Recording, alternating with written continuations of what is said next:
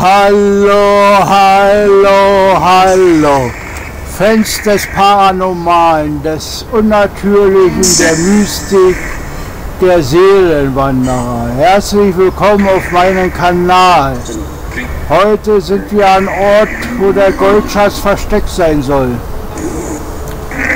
Natürlich werde ich nicht genauen Ort bekannt geben, denn hier im Umkreis von 20, 30 oder 40 Meter soll er vergraben sein hinter mir, also hinter der Kamera und doch am Wasser. Ich werde mir jetzt die Tage so, so, so, so einen Metalldetektor ausleihen und versuchen hier was zu finden. Aber da wir nun erfahren haben, dass die Kisten gesichert sind und nach so vielen Jahrzehnten ist es äußerst gefährlich, nach den Erlesenen die Haftminen zu, zu entschärfen. Ich habe sowas zwar schon mal gelernt, Minen zu räumen und Minen zu entschärfen. Es gibt ja nur zwei Möglichkeiten, entweder klappt oder klappt nicht.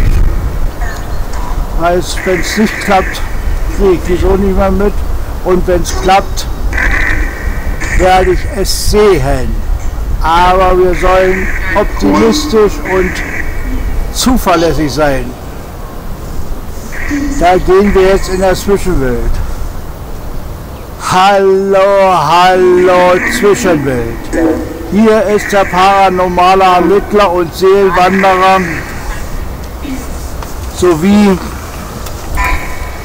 Medium ich komme wie immer mit dem größten Respekt, mit der ganzen Liebe meines Körpers und bin nur zum Reden da. Ich rufe hier die Beschützer, Bewacher oder Wächter des Schatzes auf, um sich bei mir zu melden. Ich habe hier zwei Richtmikrofone ein K2 Meter und ein Berührungsmeter.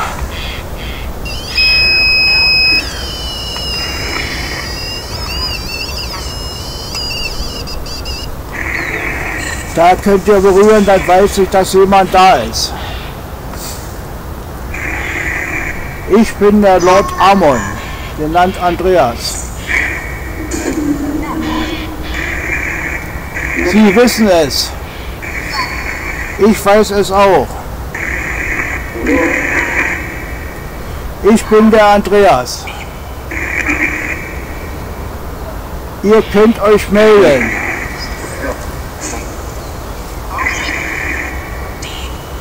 Ich habe mein Ghost-Radio an, wie man das im Hintergrund hört.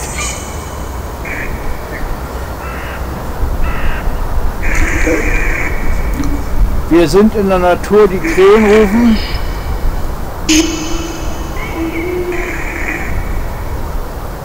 Die toten Vögel rufen.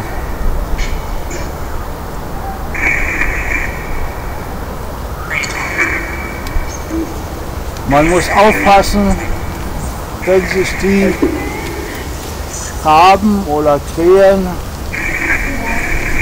sich in der Nähe deines Hauses niederlassen. Dann wirst du bald hinauffahren oder hinunterfahren.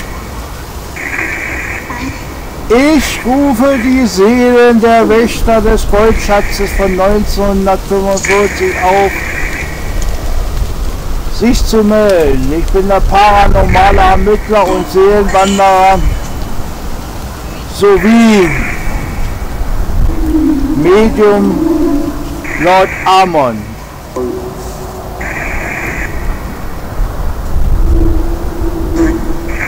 Ich komme mit dem größten Respekt, mit dem Frieden im Herzen und mit der ganzen Liebe meines Körpers zu euch.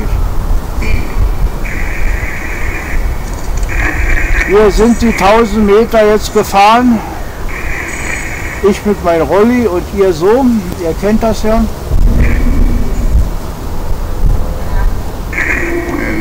Ich möchte euch nur sprechen.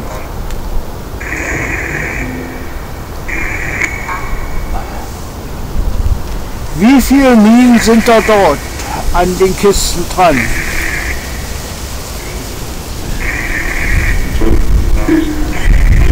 Fünf?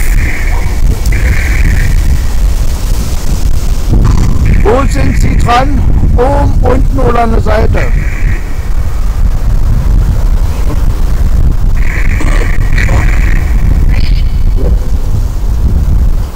Wo nochmal?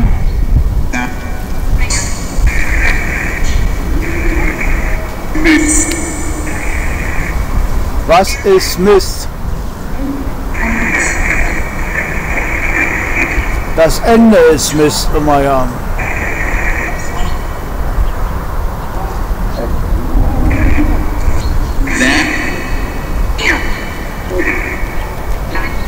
Freunde des Übernatürlichen.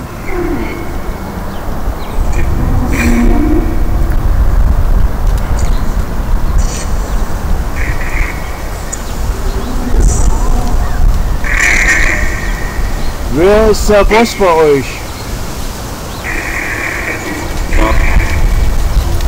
Was? Möchte er sich mit mir unterhalten? Euch?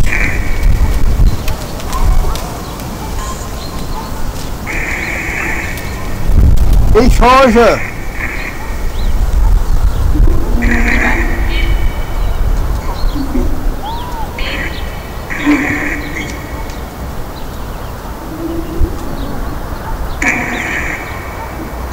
In welcher Richtung muss ich jetzt laufen?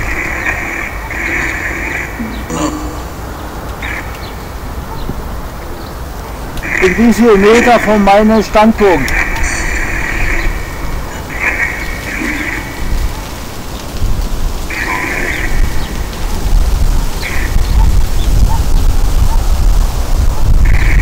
Wie viel Meter in meinem Standpunkt?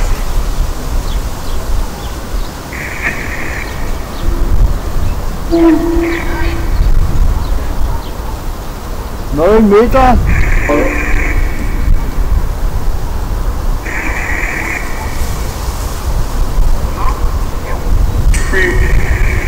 Zu spät? Ich bin nicht zu spät.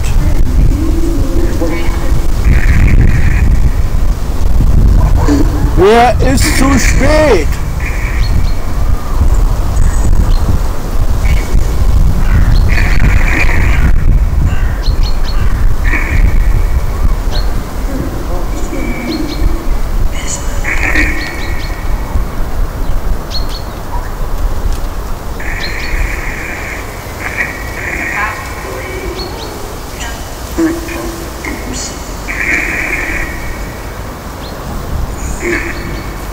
Wer ist hier zu spät?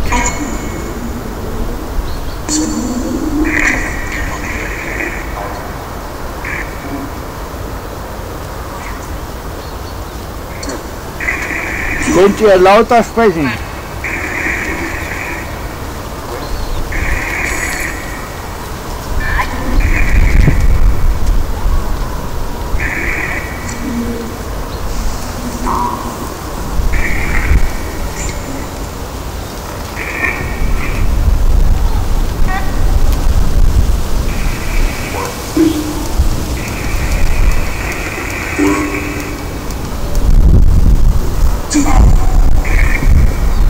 Könnt ihr lauter sprechen?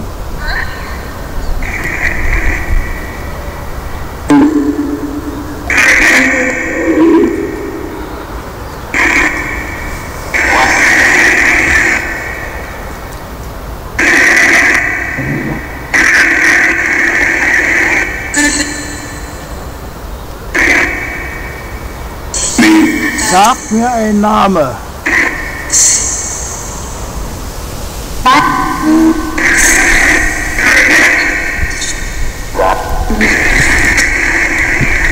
Name. Wartburg.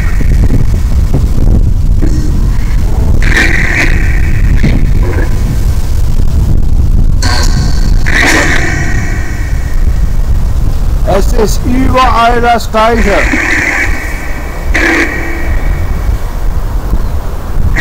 Ich weiß, dass es hier gefährlich ist. Wir sind auch wieder am Fluss der Elenden.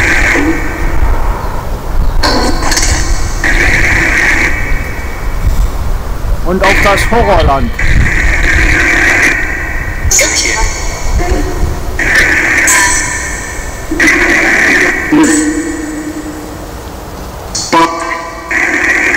Bob.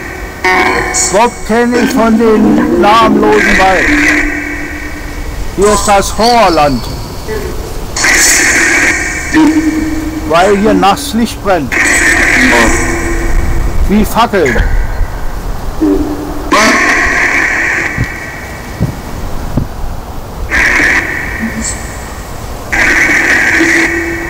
Wer hierher kommt und nicht psychisch stabil ist, kann ja wahnsinnig werden. Anämie zu bekommen.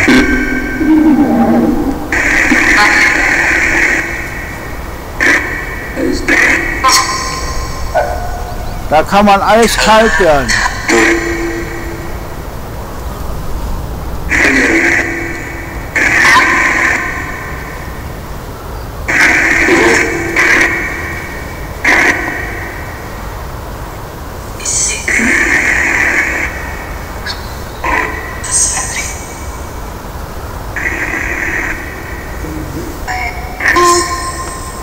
Es sagt, in wie viel Umkreis muss ich hier suchen, ihr Seelen der Wächter, ihr Wächterseelen? Erzielen. No, hinter mir.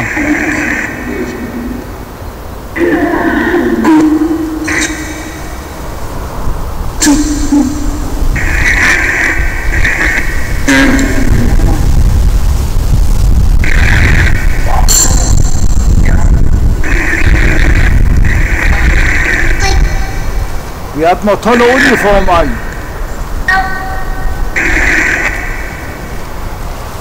Wer ist denn bei mir? Wie ist dein Name und wie alt bist du?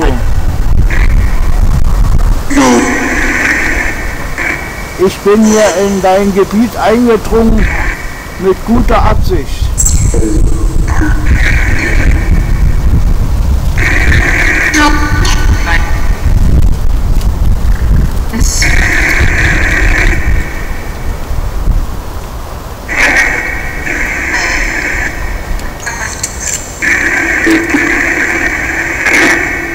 Die Seele, die auf der anderen Seite gelaufen ist, ist nicht von euch.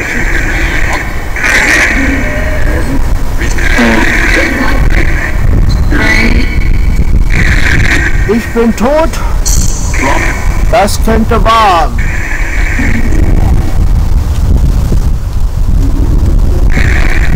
Hallo Seelen, hallo Wächter.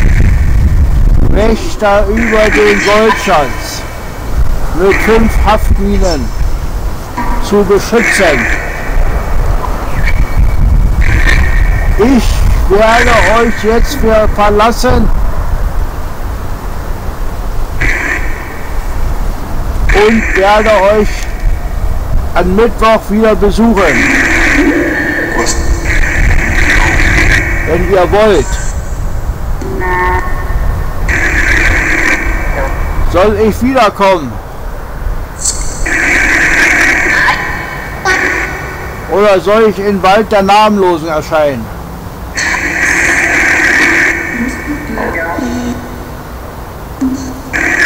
Am Fluss der Elenden.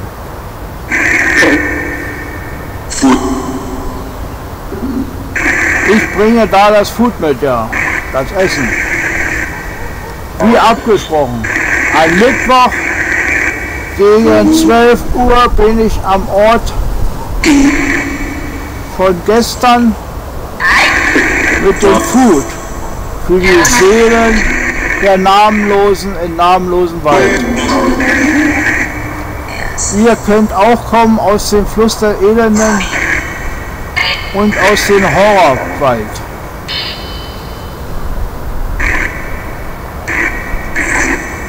Ich verabschiede mich bei euch mit dem größten Respekt,